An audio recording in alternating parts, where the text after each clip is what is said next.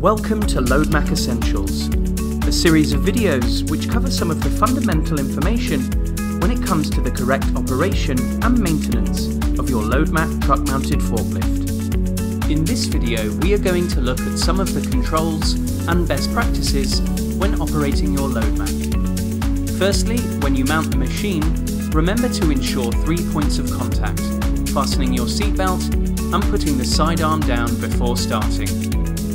Before starting the engine, ensure your hands and feet are off all controls. Turn the key to the first position to energize.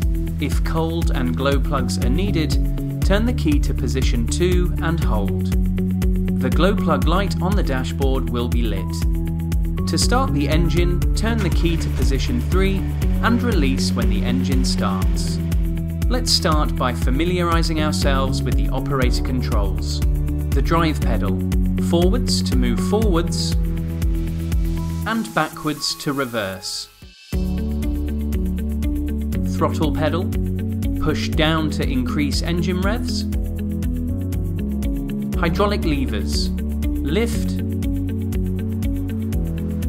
lower,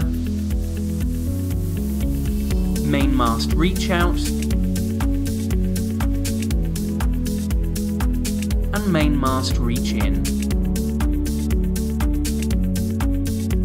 For integrated second reach out, press and hold the button and push forwards.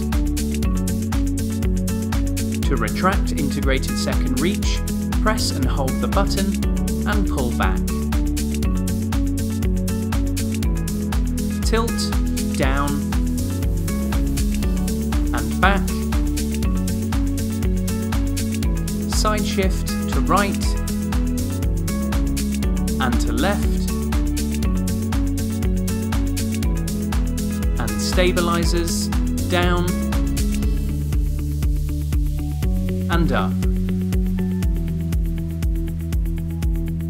Electrical switches.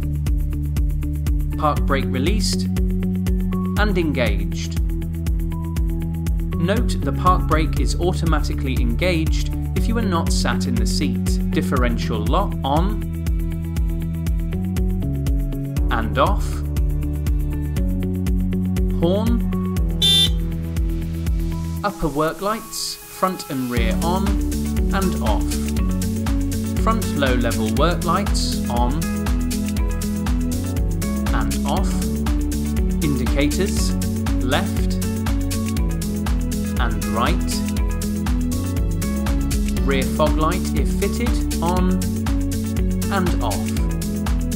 If the multi-directional steering or four-way option is fitted, the switch on the right activates steering mode. When multi-directional steering is on, the semi-auto switch moves wheels into multi-directional steering position and back into standard steering position. And there we have it, some guidance and advice on how best to operate your LoadMac truck mounted forklift.